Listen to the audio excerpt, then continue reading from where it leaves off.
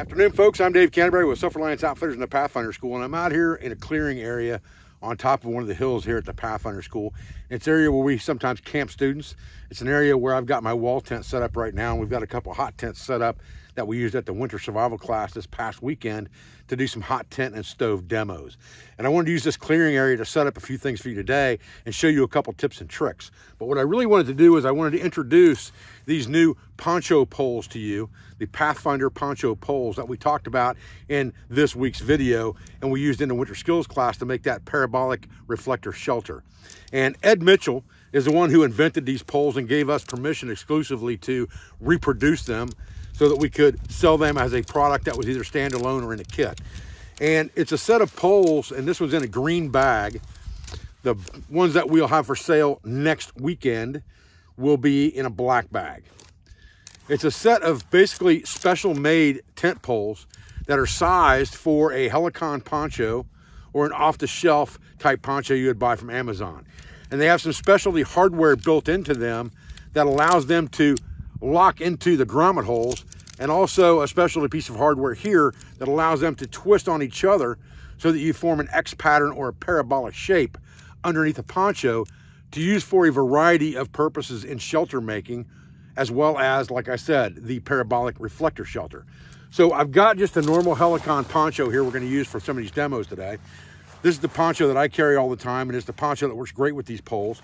The one modification I make to my ponchos is in every corner grommet, I just put a little fisherman's loop in there.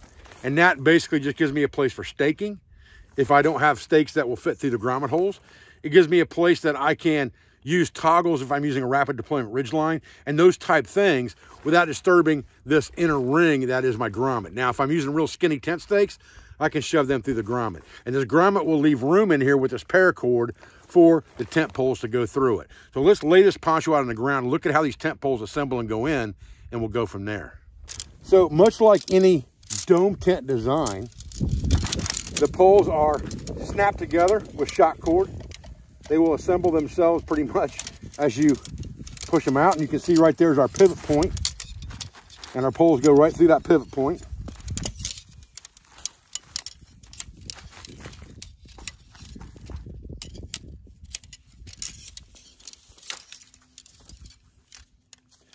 And once you assemble them together, you'll basically have an X of poles here that rotates in the center, just like this. And that X sits down on top of the poncho like this, and it's a little off center for a reason we'll talk about in a minute. Now it's as simple as coming in here and plugging these into the grommets. So you have a stop built into that, a piece of hardware right there to stop on that grommet. You'll do that on all four sides. Now you can see that these poles are quite a bit longer than this poncho. They're not just going to fit on any piece of fabric. It has to have stretch to it so that you can stretch that poncho out and that's what causes that parabolic shape.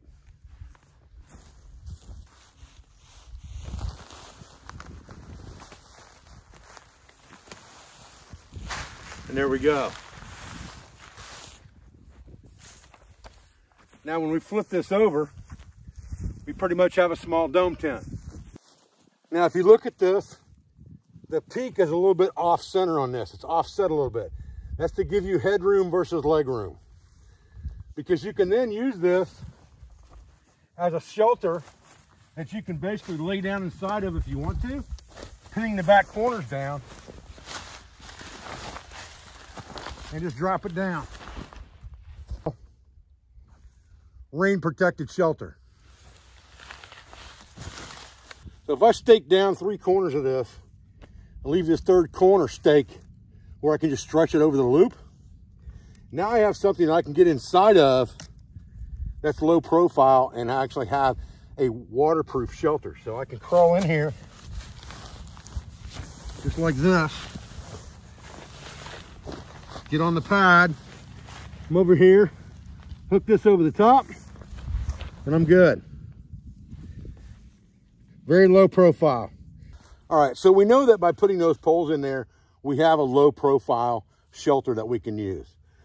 The other beauty of this is that now we have something, we can raise this up and we can make a tarp shelter out of this like a half face lean And because we have those poles in there, we don't have to worry about pulling the hood out to bell the back of that poncho out to give us more room underneath it, keep it from flapping around.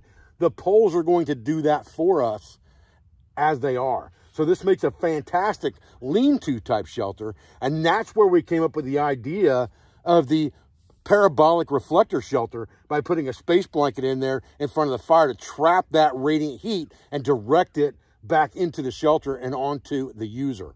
So I'm going to set this up with for you guys today. And what I'm going to do is, because there's no trees up here to use, I'm going to use a system of bipods to set this up as a lean-to, but I'm going to use a single rapid deployment ridge line to do all of that, from the bipods to the setup, so that you can see how that's done. All right, so we've got our rapid deployment ridge line. We've got four poles about four to five feet long, fairly straight. We have our four tent stakes, four of the six from our shelter kit, and we have our rooster mod hatchet. This is the same profile design that is on the Camp Carver from Council Tool. He is the designer of that axe. This one is just made from an old Plumb roofing hatchet and has the hammer pole. All right, so we're gonna take our rapid deployment ridge line, we're gonna pull the front end of it out, and we're gonna move these prusiks up the line a little bit as we go, and we're gonna stake this loop to the ground. So this is the loop that we would use to attach to a tree, our bowline loop. We're gonna attach it to the ground.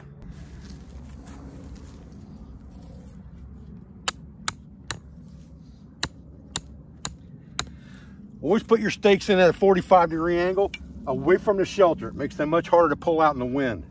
Now we're just going to pull out some line here to give ourselves a little bit of excess to make our bipod. And you can see the way this is set up, this is still all on the coil. I'm just pulling out what I need and sliding the prusiks out of my way. And now I'm gonna take two of these poles and set them up on the ground just like this in a cross. I'm gonna take this and I'm gonna come around the back side and underneath and I'm gonna do it one more time, just like this. And then I'm going to go up and over, pull that taut just like this, and go in between in a figure eight, just like this. Now I can pull against this and it won't go anywhere. Now what we want to do is we want to take our shelter, just kind of sneak it up here so it's the same as our tripod about like this and give ourselves just a little bit of standoff. A couple inches enough to go to the other end. So now we've come to the other end. We've taken those prusik loops and we've left them in the middle. We're going to get this to about the same height. And so now we're going to go around those bipod legs twice. There's one wrap. There's two wraps. And then all we're going to do once we've done our two wraps, again, it's just a figure eight here and here. And then we just line everything up the way we want it. We pull this out and we stake this down. Now on this side, all we're gonna do is come down here about where we wanna be, put a marlin spike hitch in the line, pull our stake tight against that. Again, 45 degree angle, and tap it in. Any excess that we've got, we can just roll it up here Take that loop, kind of make a girth hitch just like that, slide it down the line, neat and tidy. So now, as you can see, we've got our ridge line set up. All we have to do is get this bad boy on there. We can use our prusik loops to attach with tent stakes, just like any other tarp. Stake down the back, and we've got a lean-to shelter that's actually already belled out in the back and gives us extra room on the inside. So one side of this tarp, I just dropped a loop over this fork. That secures one side. I don't have to worry about using this prusik loop. On the other side, all I did was a loop-to-loop -loop connection. So I just shoved the loop through the loop just like that. Stuck a stake through it, pulled the line tight, just like that, and pulled it. Now remember, we have a center grommet here that we can work with on a tarp. So all I did was took that third prusik and I just punched it through and pulled the line tight. I came back around and went underneath the line with a girth hitch. So I pulled that loop up and around, opened up that girth hitch and shoved my stake through both sides of it just like that and slid it in. And that's going to take care of my center line of this tarp and hold it in place to the line so it's not flopping free. Now you can see in the middle, we have the same grommet hole here in the back of the poncho. So if we want to put a loop in that and stake it down, now we have a very, very secure shelter that's not going to go anywhere, even in high wind. And we've got a structure to it, which is great on the inside. All right, so as you can see, plenty of room in here. My head is still inside the shelter. My feet are still inside the shelter. Now, granted, I'm only five foot eight. Somebody six two or six three might hang out a little bit, but you can always lay diagonally in here and get more length out of it if you need to. To me, this is the perfect ultra light survival shelter. And to me, I mean, shelter, shelter. If I have the right ground pad and I have the right sleep system with me, this thing is a nice shelter to have with me that weighs almost nothing. So what we're gonna do now is we're going to put a Mylar space blanket in here behind these poles to make that parabolic reflector structure, which is more of a survival wintertime shelter. We can put a fire right out here in front. I mean, we've got tons of room to put a fire. We only have to go to right here.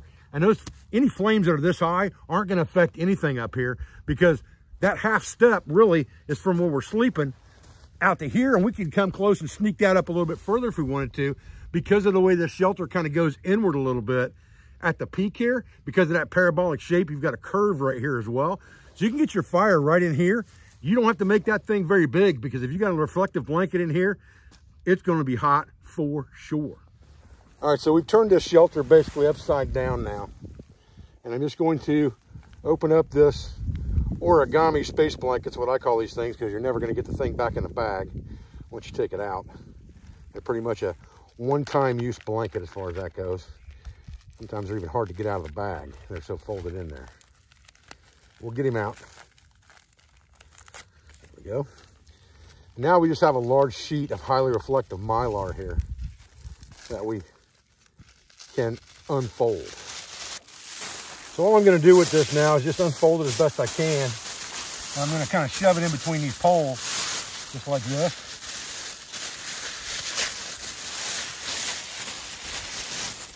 And stretch it out.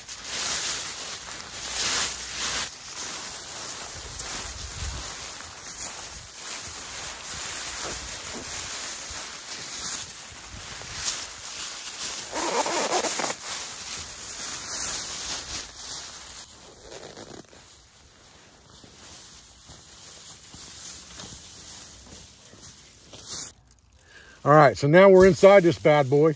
We've got that space blanket stretched out in here. Now there's some areas that there's some slack in this space blanket because you're not pulling it tight on the corners. You're just putting it underneath of these poles.